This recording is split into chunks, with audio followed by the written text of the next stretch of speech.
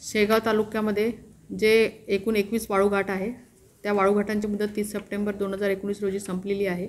एक ऑक्टोबरपासून तहसील कार्यालय शेगाव या ठिकाणी नायब तहसीलदार मंडळ अधिकारी तलाठी आणि कोतवाल यांचे प्रत्येक दिवसासाठी संयुक्त पथक पथक गठीत करण्यात आलेलं आहे.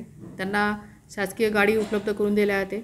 ज्या दिवशी शासकीय गाडी उपलब्ध नसेल त्या दिवशी खाजगी वाहनसुद्धा उपलब्ध करून दिले जाते आणि अवैध वाळूची जी वाहतूक असेल ते रोखण्यासाठी प्रतिबंधात्मक कारवाई केल्या जाते. आतापर्यंत बरेच प्रकरणामध्ये वाहतूक जे अवैध वाहतूक होते त्यासंबंधात दंडात्मक कारवाई तहसील केलेली आहे. अजूनही काही दंडात्मक कारवाईचे वाहनं या तहसील कार्यालयामध्ये उ उम- उभे आहेत. ज्या ठिकाणी फक्त वाळूचे जे साठे हर्रास झाले आहेत त्यांनाच फक्त रॉयल्टी दिलेली आहे. इतर कुठलेही वाहन विदाऊट रॉयल्टी जर असेल तर त्यांच्यावर दंडात्मक कारवाई करण्यात येणार आहे असे सर्वांना निर्देश देण्यात देण्यात आलेले आहेत.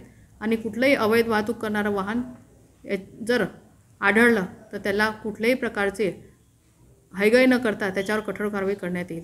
आणि जे वाळूचे जे आतापर्यंत जे काही ओपनली वाळून येतात त्या सर्व रॉयल्टी धारकांना किंवा वितरकांना किंवा वाळू वाहन करणारे जे रॉयल्टी घेऊन वाहतूक करतात त्यांना सर्वांना माझ्या सूचना आहे की त्यांनी आपले वाहन करणारे जे वाहन आहे वाळू ते हवेमुळं लोकांच्या डोळ्यात जाते लोकांना त्याचा त्रास होतो. ते कुठल्याही एखाद्या पॉलिथिनने किंवा एखाद्या कपड्याने ते त्यांनी झाकून द्यावी असे सक्त निर्देश माझे सर्वांना आहेत आणि त्यांनी जर निर्देश हे पाळले नाही तर त्यांच्यावर सुद्धा याच्यापुढे कारवाई करण्यात येईल.